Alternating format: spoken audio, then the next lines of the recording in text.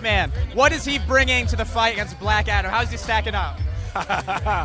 oh, he stacks up well. Black Adam and Hawkman go toe to toe, pound for pound in this film. It is action packed to the max, man. It's incredible. How comic booky are we getting? Are we getting Nth Metal? Are we getting uh, the Thanagarians? How deep are we going? We're getting Nth Metal for sure. I can't go into all the details. You got to see the film, but you are definitely getting classic Hawkman, the Hawkman that you want to see, the Hawkman you grew up knowing and reading in comics.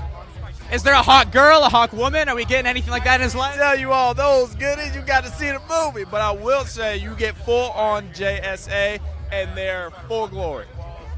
If they're looking for new members, who would you want to recruit to the team? So definitely Hawk Girl, definitely Mr. Terrific. Uh, I believe Hourman. Yeah, I want to. I want to get into it. Uh, obviously, Dwayne has been teasing a Superman showdown. Is that an over in a matter of seconds, hours? Are we going to need multiple movies to fully explore that? I honestly, I would like to see a build up to that. If that was to ever come to pass, I want to see at least you know two to three movies build up to it.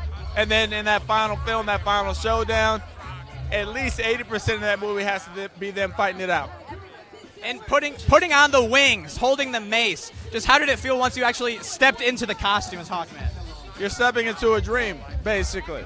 You know, for me, what it means representationally when it comes to other kids, black and brown kids who will grow up looking at this and believing in something that I was not able to when I was a kid, that's amazing. But also as an actor, man, this is my job. Are you kidding me? How it doesn't it doesn't get more incredible than this time in this moment right now. And DC is still looking for their Kevin Feige, their head of film. How do you think Dwayne would fit in that role?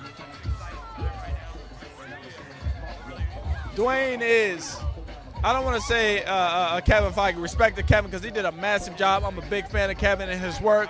Shout to Kev. Dwayne for DC not in comparison. Dwayne is the answer they've been looking for. The answer to the fans' questions, what they've been looking for for all this time. Dwayne is that guy. Trust me.